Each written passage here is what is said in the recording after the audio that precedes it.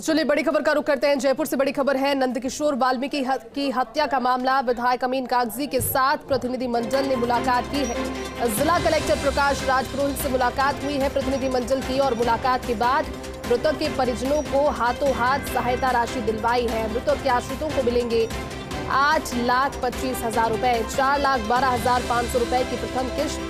मृतक की पत्नी के खाते में हस्तांतरित कर दी गई है। वहीं चार लाख बारह हज़ार पाँच सौ की दूसरी किश्त मिलेगी। पुलिस चालान पेश होने के बाद।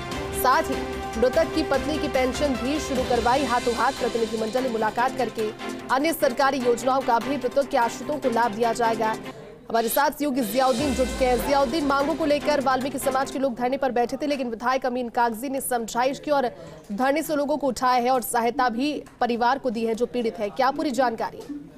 देखिएगा कि नंदकिशोर वाल्मीकि की कुछ दिनों पहले हत्या हुई थी क्योंकि उसके बाद से परिजनों के अंदर और खासतौर से वाल्मीकि समाज के लोगों में आक्रोश था कि जो सरकार की तरफ़ से आर्थिक मुआवजा या पैकेज राशि दी जाना थी वो अब तक नहीं दी गई। ऐसे में वो आज धरने पे बैठ गए थे क्योंकि जैसे ही विधायक अमीन को पूरे मामले का पता लगा। तो उन्होंने प्रतिनिधि मंडल से जो वाल्मीकि समाज था उनसे बातचीत की समझाइश कर धरने से उठाया और जिला कलेक्टर के पास ले गए। वहाँ पे जाने के बाद वार्ता हुई और नतीजा ये रहा कि हाथों हाथ जो मुआवजा था, आठ लाख पच्चीस हज़ार रुपए का, वो स्वीकार करवाया गया, जिसमें से चार लाख बारह हज़ार रुपए जो था, उनकी पत्नी के अकाउंट में डलवा दिए गए फ़िलहाल उनकी पेंशन भी शुरू करवा दी गई और ऐसे जो लाभ परिलाभ जो दिए जाते हैं पूरे मामले में सरकार की ओर से, उन देने की भी घोषणा की गई। फ़िलहाल कुल मिलाकर देखा जाए तो एक तरीके से बेहतर स्टेप है, जिस तरह से धरने पे बैठे थे और लगातार जो विवाद की स्थिति बन रही थी, उसको खत्म कराने के अंदर विधायक अमीन कागज़ी ने सहती भूमिका एक बार फिर से निभाई है। जी बिल्कुल जिया और इसमें क्योंकि अब आर्थिक सहायता की बहुत ज़्यादा ज़रूरत पीड़ित परिवार को थी तो वो भी दो किश्तों में एक तो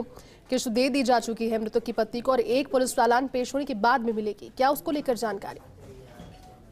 इसमें चूँकि मामला एस सी एस टी अत्याचार ने उससे जुड़ा हुआ है तो चूँकि पहला जो है तो राज्य सरकार राशि दी जाती है उसकी पहली किस्त तो दे दी गई है दूसरी किस्त तब दी जाएगी जब पुलिस चालान पेश कर देगी।